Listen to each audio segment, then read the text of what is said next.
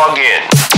Website TNTRadio.live. Check it out. Today's News Talk Radio. It's the coolest. TNT. Welcome back, folks. Welcome back. Uh, I wanted to be uh, talking right now to Mats Nilsson. He is a political analyst based in Sweden.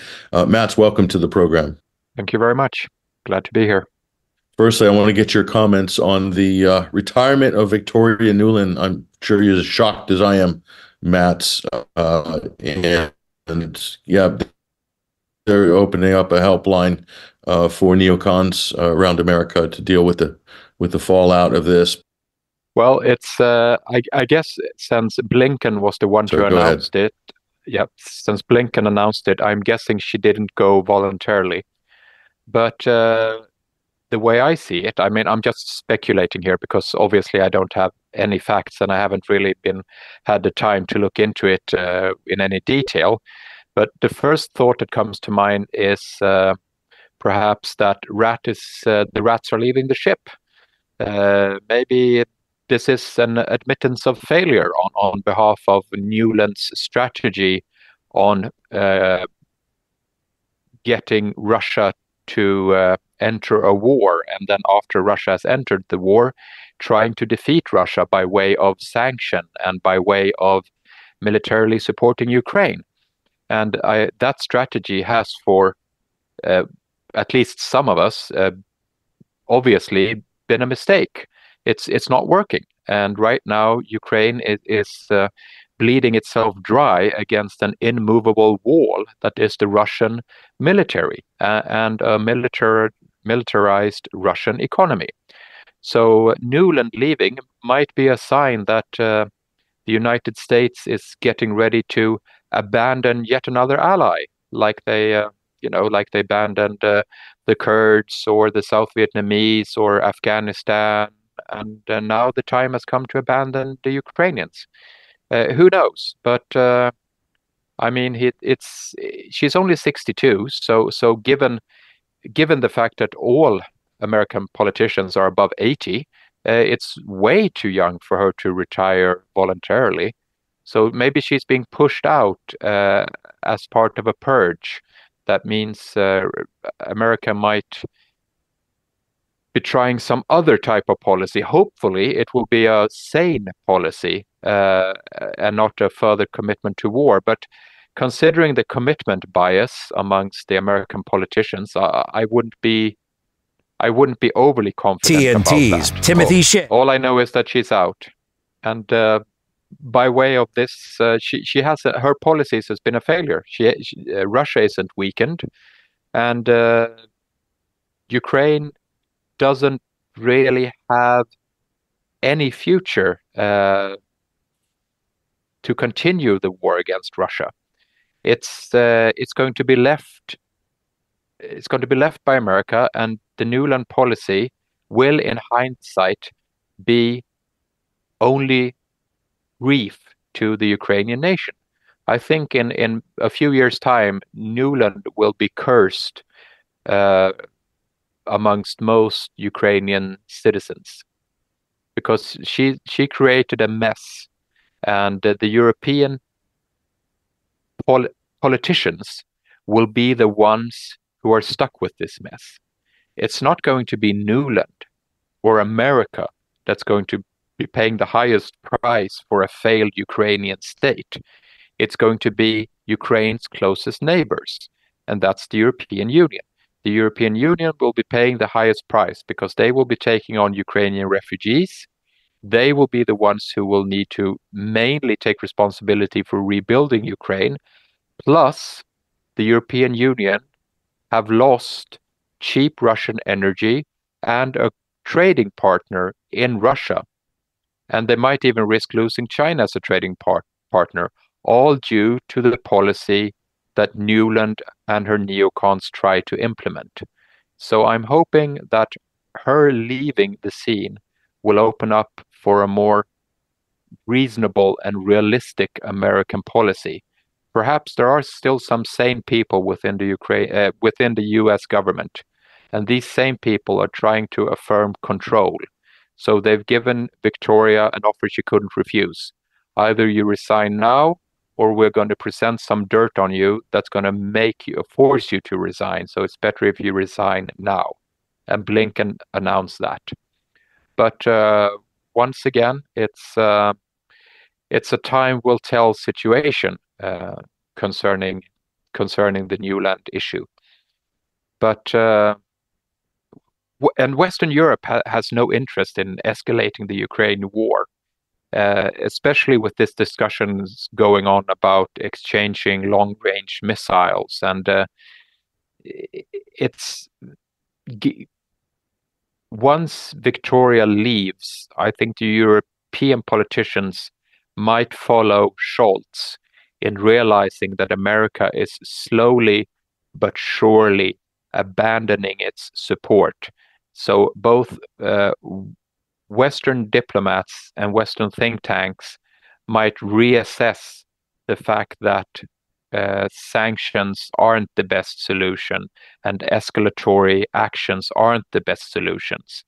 The signal that is being sent by removing Nuland is probably one uh, that will do good in rousing a bit of uh, some of the European politicians who are still stuck in a desire to uh, regime change Moscow.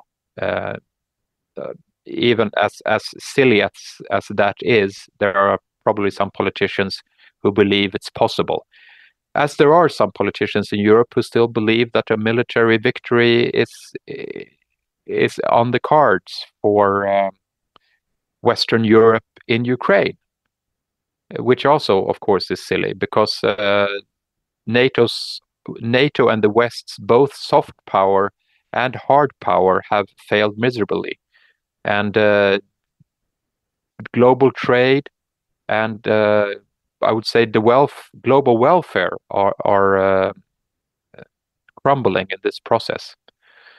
So uh, we'll we'll see what happens. But uh, military in interventions uh, will hopefully be gone with Nuland leaving. I, I I doubt it, but one can always be hopeful.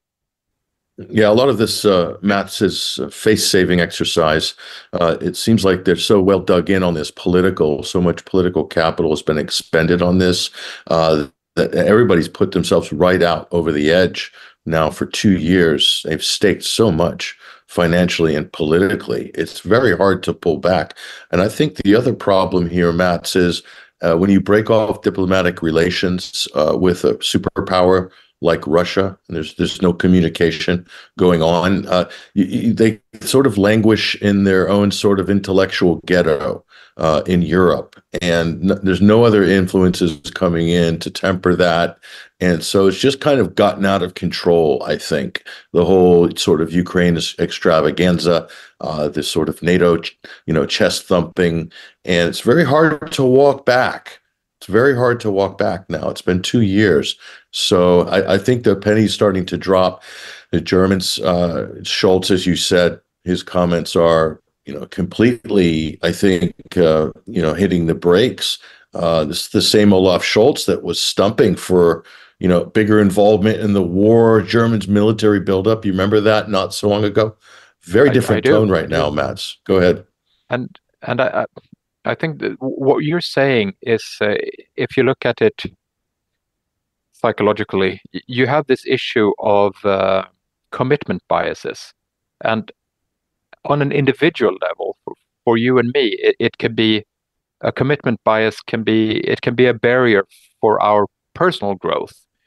Uh, you have to be able to acknowledge past flaws and uh, past bad behaviors in order to better yourself and and be adaptive because the gain on a personal level is a better self insight that will help us make better decisions in our lives thinking critically and thinking logically and questioning our previous decisions the problem is that commitment bias becomes a great issue when someone is in a position of power and these people who are in a position of power are just like you and me. They have commitment bias issues as well.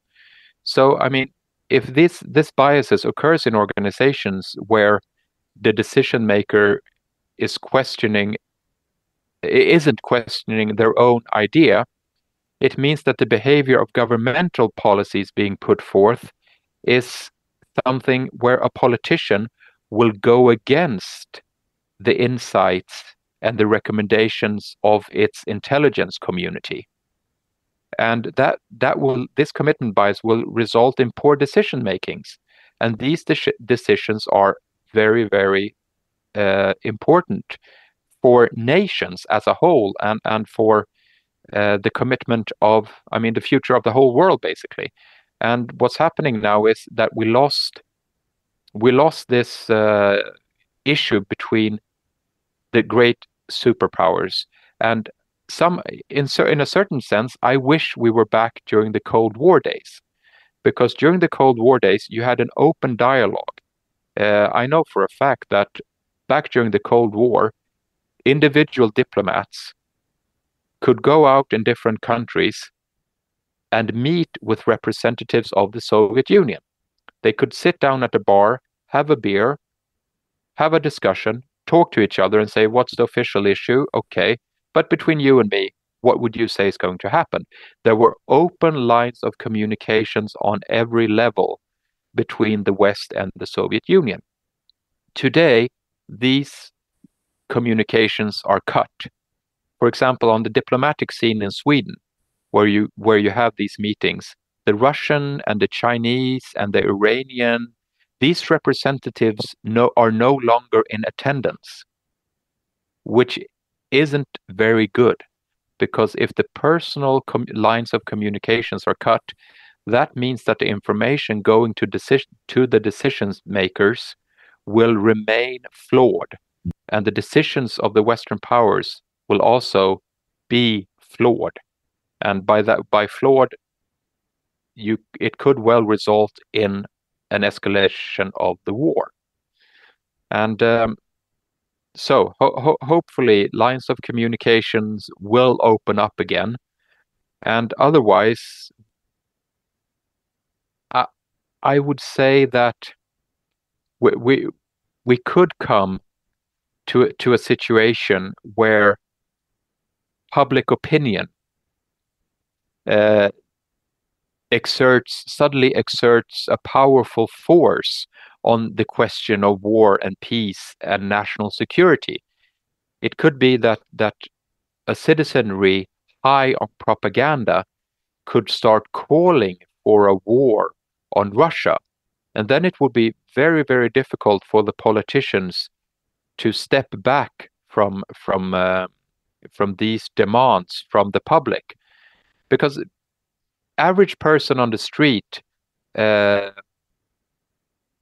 aren't really that interested in foreign policy and national security. It's always been questions that have been above the public fray. It's been in the domain of diplomats and intelligence agents and career specialists.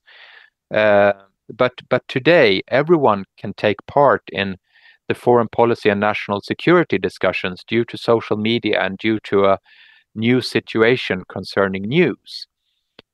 And if the leaders don't listen to this, it means that they could suddenly be pushed into situations by a public opinion.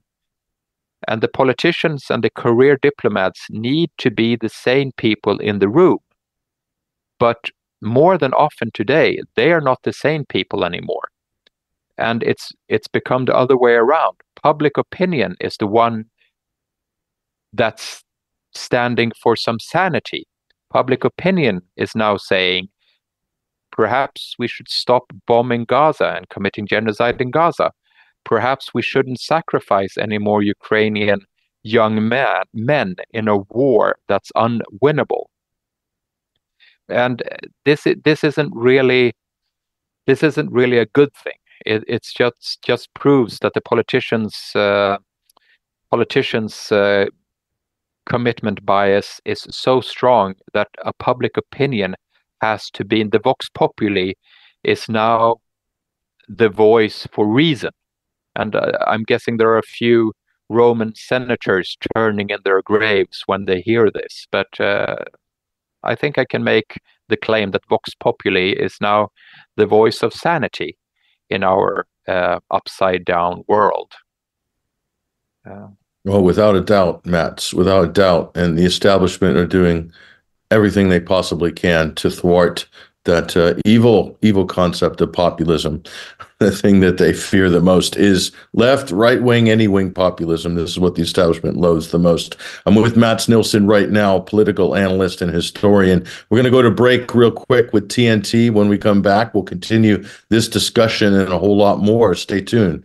We'll be back in a few. Speaking on the issues that impact. This is the Patrick Henningsen Show on TNT Radio. All right, folks, welcome back. Welcome back to the program. I'm Basil, uh, we've got a clip I want to run uh, regarding uh, NATO. Let's go ahead and roll that clip, and I want to get both of your comments on this. Go ahead. Let's roll that. President Putin actually sent a, a draft treaty that he wanted NATO to sign to promise no more NATO enlargement. That was what, what he sent us and that was that that was a precondition for not invade uh, uh, uh, Ukraine. Of course, we didn't sign that. So he went to war to prevent NATO, uh, more NATO close to his borders. Flashback. This is fundamentally not about NATO expansion. It was never about NATO enlargement. It's not about NATO. It's not about NATO expanding toward Russia. This was never about NATO. It's absolutely nothing to do with NATO expansionism. And it has nothing to do with NATO. This is not, not about, NATO. It's not about NATO. It's not really about NATO. This is not about NATO. Seriously, it's not about NATO. This was never about NATO. It was never about NATO. Let's be honest. This doesn't have anything to do with NATO. Nothing to do with NATO at all. Yeah, he's claiming it's like security purposes, but we can cl- see the clear reason. but NATO is not the reason. This is not about NATO expansion. This is about the democratic expansion. Ukraine bans religious organizations. We are protecting democracy right now. Ukraine is banning political parties. Because it's a democracy. Ukraine restricts books and music. It's about democracy. Ukraine won't hold elections. It's about democracy. And it's not about NATO expansion. This war in Ukraine is not about NATO. It's not about NATO. That's not about NATO. It has nothing to do with NATO. Nothing to do with NATO expansion. It's not about NATO expansion. Nothing to do with, with NATO. It isn't really about NATO. It's not about NATO. It's not about NATO enlargement. In fact, it has nothing to do with NATO. It's not about NATO encroaching. It's not about NATO. NATO is just as a fictitious, imaginary adversary for, for, for Mr. Putin and for Russia. It was never about NATO. That's not what it's been about. It's been about him trying to expand his sphere of influence. Hang on. I mean, the two are not mutually exclusive. Obviously, Russia has wished for a sphere of influence over Ukraine. But if the West had not challenged Russian interests so directly, I think that there, there was a, a chance to avoid this war. He wanted us to sign a promise never to enlarge NATO. We rejected that.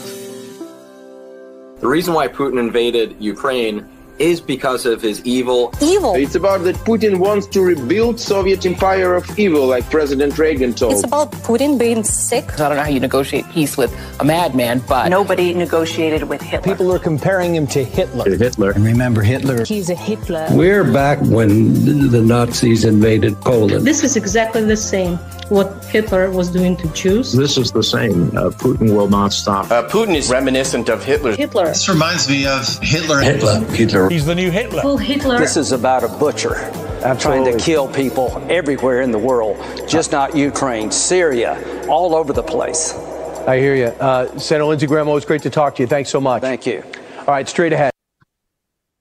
Well, uh, Lindsey Graham there, arguably the most unhinged of all the neocons, uh, with ludicrous claims that Putin wants to kill people all over the world. Unfortunately, the gremlins have taken care of Patrick for the time being. He'll be joining me again by telephone after 5 p.m. But uh, first of all, uh, we had it there in a nutshell in a very well edited little video.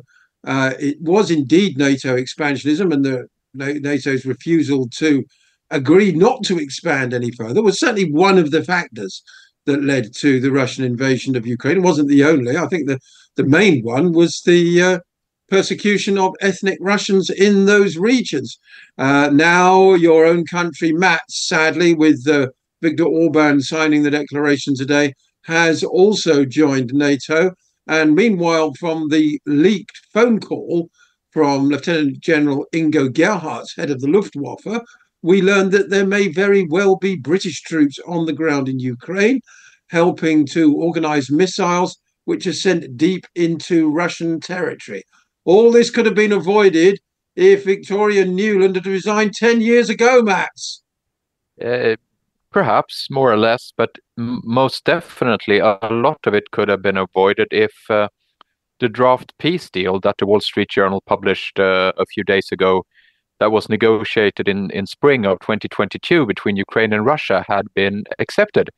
It, it wasn't by any means, at least not what I was able to read, uh, a, a bad deal for for Ukraine. It uh, it was very much in favor of Ukraine. It would have been uh, kept. Ukraine would have been kept as a as a solid sovereign state, uh, min minus uh, Crimea. It could even have become a member of the European Union. The only one restriction was not joining NATO plus some uh, some uh, limits on the size of certain parts of its armed forces. Those conditions were much better than anything Ukraine can hope for today, when when uh, Russia's trust in the West is is down to to zero. And and, and as for Sweden's member membership in NATO, it's um, if you look at what Austin uh, said or claimed uh, also a few days ago, that uh, Ukraine should enter NATO in order to be protected from Russian attacks. But at this at the same time, he said that if and when Russia defeats Ukraine, Russia will continue on to attack NATO member states. So I mean, what's what's the what's the protective value of a NATO membership for Sweden? If the Amer uh, if the American Austin says that uh, Russia is going to invade NATO anyway, once it's uh, done with Ukraine, then then it's null and void. So so why why are we even in NATO if it doesn't help us? It's just it's just for show. There's nothing else. And unfortunately, now Sweden will soon officially be part of this uh, sad, sad uh, dance macabre that's called yes. NATO.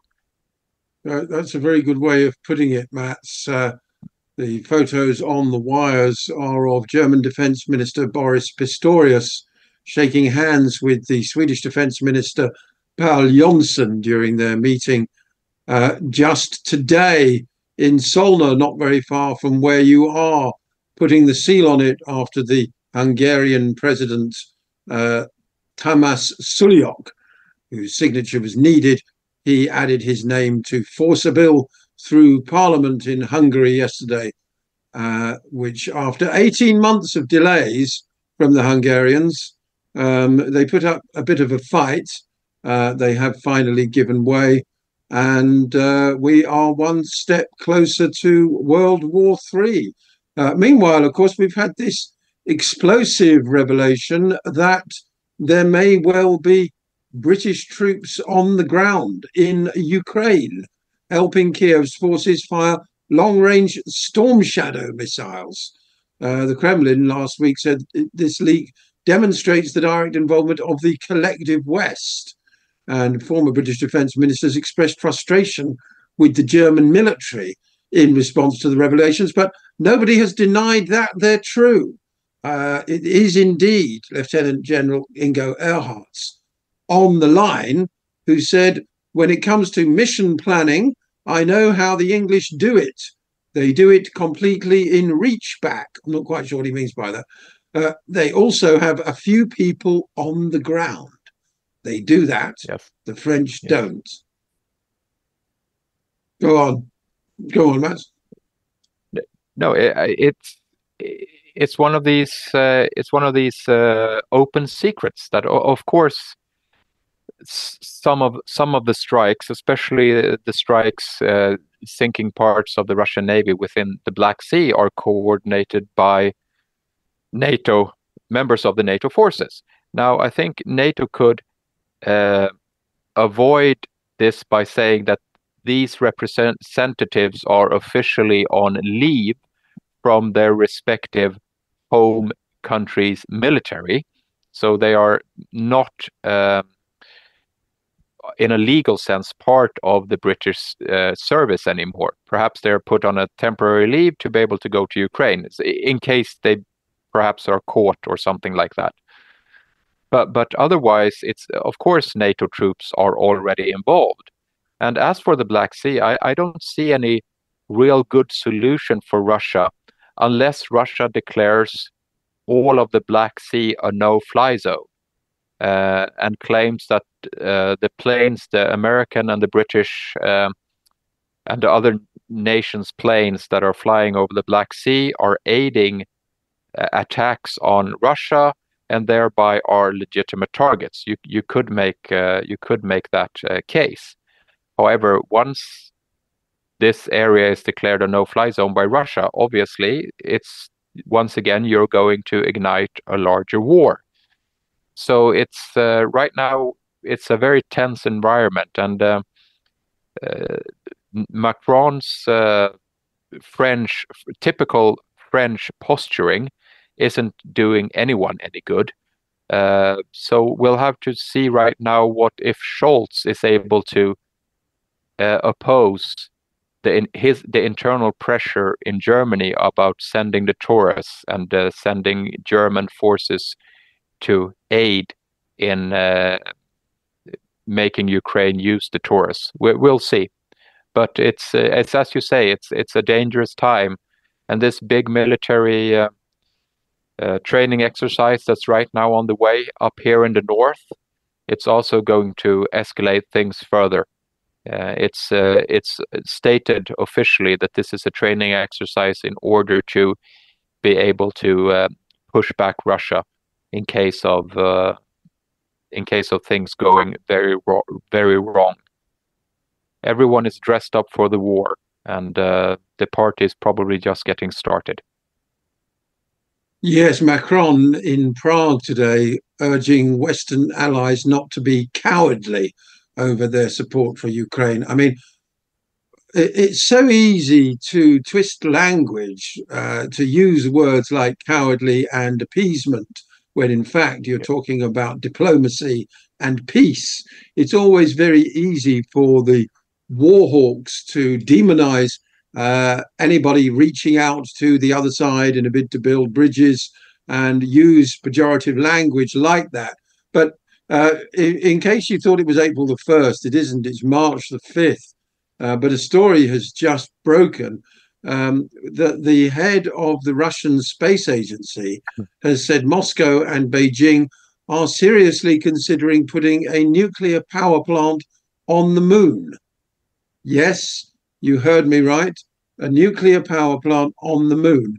I don't know if this comes in response to uh, the United States ramping up its whole Star Wars project again, but there it is an absolutely off the charts story.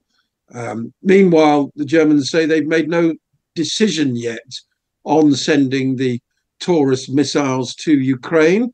And Russia says it has scrambled fighter jets to escort French planes over the Black Sea. Moscow says it scrambled an Su 27 to escort French fighter jets and a reconnaissance plane. I assume they were not meant to be there, Mats, but perhaps that's what Macron means by not being cowardly. He means winding up the Russians by sending his jets uh, very close to Russian airspace. I wonder how he would feel if the Russians were flying over the Mediterranean just off the Côte d'Azur. Well, uh, I think he he would feel the way most French leaders feel. He would run and hide historically. Uh, as as as as for as for the moon and the nuclear uh, energy on the moon, I I would like to put a positive uh, news story up here on on on TNT. Uh, two days ago, three NASA astronauts and a Russian cosmonaut, and I think a Bel- Belarusian as well, headed for the International Space Station uh, together uh, on one of the Soyuz uh, ferry ships. Uh, so they, they were actually launched up into the International Space Center together. So obviously sanctions don't apply everywhere, and uh, and on on a on a between on a personal level, it, it's always good to see that there actually are some areas where cooperation is still possible possible. And uh, as as long as that exists maybe who knows maybe the leaders might come through as well and snap back into some sort of of sanity. But uh, obviously the the prevailing uh, prevailing mo- mood right now is war and more conflict and escalatory talk. Words matter and what we're lacking today are leaders of stature. We're, we're lacking leaders who have the ability to say, we now need we now need the, the, the jaw-jaw and not the war war. But they don't exist. Uh, and sadly, the United Nations is the General Secretary of the United Nations. I, I don't know where he is. I haven't seen him. He should be flying shuttle traffic between Moscow, Washington, London, Berlin, Jerusalem, uh, Riyadh, Cairo. He should be out there doing continuous diplomacy to bring about talks and to bring about peace. But I, I haven't seen him. I haven't even seen any news about him. I don't know where he is. It's situations like these, this, where a, a person like the UN General Secretary needs to rise to the occasion and start yes. making some noise. But but but the united nations they they have they've just taken a break gone down to the pub for a pint and you know oh well there, there's a war on. Well we're we're not going to do anything about it. Let someone else sort it out. Which is sad because it it makes me a, a fond admirer of the UN system it makes me question what's the use of the united nations and if I'm questioning the United questioning the United Nations, I'm guessing a whole lot of other people are questioning the use of the United Nations as well. Yes, I don't think the United Nations Security Council location there in New York is very helpful. It's a long way from the action. You know, um, United States, North America, Canada. Uh, you know, no major wars actually on that soil since what the American Civil War in the middle of the 19th century. I think if the United Nations was in Geneva or something, a little bit closer to the action, uh, be it in Gaza or the Ukraine, um, they may well be a little bit more focused on what's going on. As it is, the whole thing these days increasingly looks like a film set from a 1960s James Bond film, and uh, the people in the Security Council simply actors. Uh, you know, empty, you know, mouthing empty platitudes endlessly, um, but not actually getting on with the nitty gritty, which is supposed to be, as you say, Mats, preventing wars and preventing escalation of conflicts. Yes, good, uh, Guter- Guterres could get on a plane and and uh, and leave New yes. York. Guterres is is movable. The the United Nations isn't. It's stuck in New York for the foreseeable future. But the fact that Guterres is is uh, not anywhere to be see, to be seen is detrimental to the whole future of the UN system, especially in I a time Ma- like this.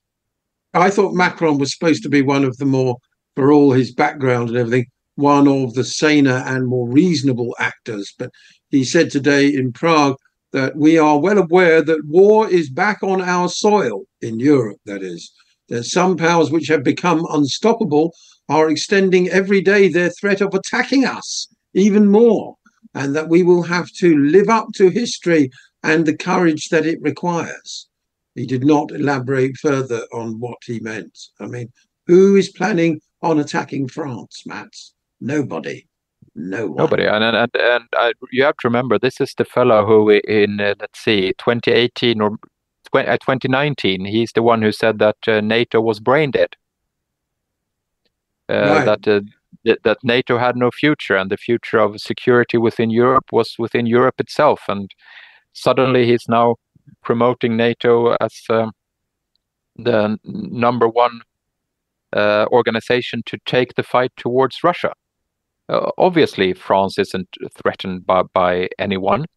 Uh, it hasn't been for quite a long time, uh, and uh, it's I don't know what's gotten into him.